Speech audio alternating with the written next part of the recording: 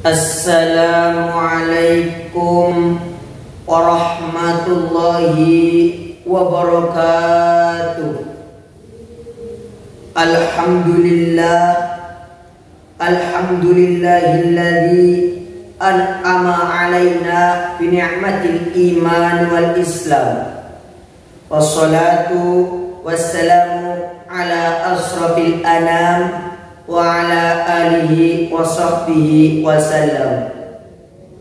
فقد قال الله تعالى في كتابه الكريم أعوذ بالله من الشيطان الرجيم.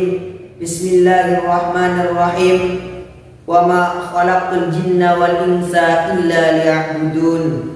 الآية صدق الله العظيم وصدق رسوله النبي الحبيب الكريم.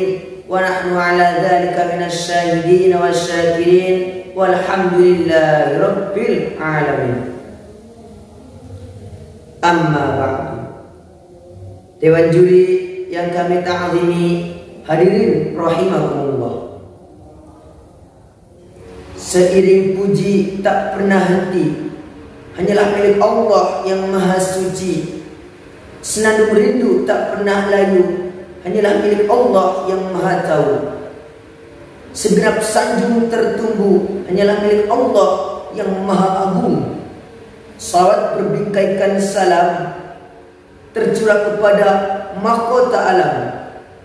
Pelipur lara dikala duka, pengobat kalbu dikala rindu, penerang hati dikala tersakiti, yakni Habibina wa Syafi'ina wa qurrati a'yunina wa maulana Muhammadin sallallahu alaihi wasallam.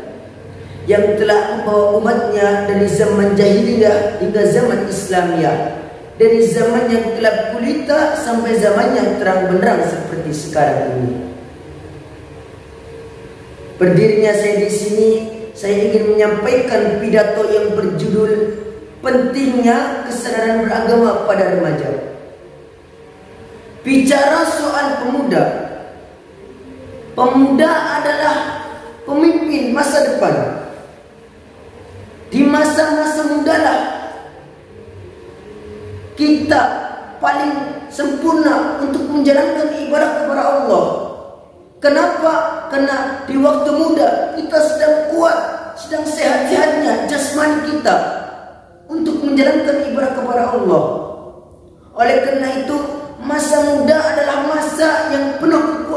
setelah sebelumnya masa kelemahan. Hadirin rahimakumullah. Masa muda adalah masa yang dianugerahi nikmat oleh Allah. Mata bisa melihat dengan tepat, tangan bisa mengangkat benda yang berat, kaki berjalan atau berlari dengan cepat, wajah tampan atau cantik memikat. Itu semua nikmat yang datang dari Allah yang maha hebat. Oleh karena itu, marilah kita mensyukuri nikmat yang datang pada diri kita. Dengan apa caranya? Dengan kita mengetahui bahwa beragama pada remaja itu sangat penting. Dan juga mempunyai ilmu. Kalau sekedar beragama itu kurang. Kalau mempunyai ilmu, kita tahu mana yang hak dengan mana yang batil.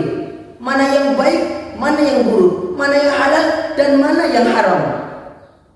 Sampai-sampai Allah Subhanahu wa taala berfirman dalam Al-Qur'an, A'udzu billahi minasyaitonir rajim. Bismillahirrahmanirrahim. Yarfa'illahu alladhina amanu minkum walladhina utul ilma darajat. Sadaqallahul azim. Niscaya Allah akan meninggikan derajat orang-orang yang berilmu dan orang-orang yang diberi ilmu pengetahuan beberapa tingkat. Itu janji Allah di dalam Al-Qur'an. Kita sebagai pemuda harus mempunyai ilmu. Syukur-syukur manfaat. Karena apa? Karena pepatah Arab mengatakan subhanul yaum bijalal Pemuda sekarang adalah pemimpin masa depan. Oleh karena itu, kita sebagai calon pemimpin masa depan, kita harus mempunyai keimanan yang kuat, ketakwaan yang mantap, jasmani sehat, dan mempunyai ilmu yang banyak lagi manfaat.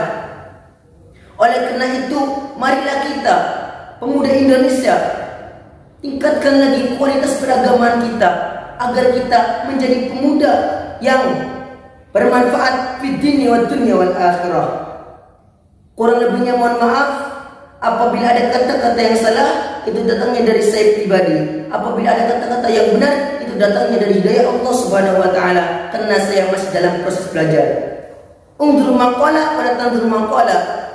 Wallahu muwaffiq ila aqwamit thoriq. Wa warahmatullahi wabarakatuh.